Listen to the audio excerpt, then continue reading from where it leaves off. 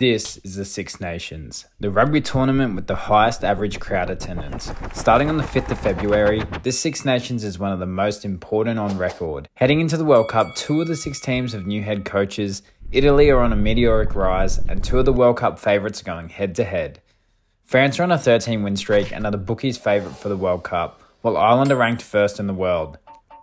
A question perhaps more significant than who will win out of these two teams is have they peaked too early for the World Cup?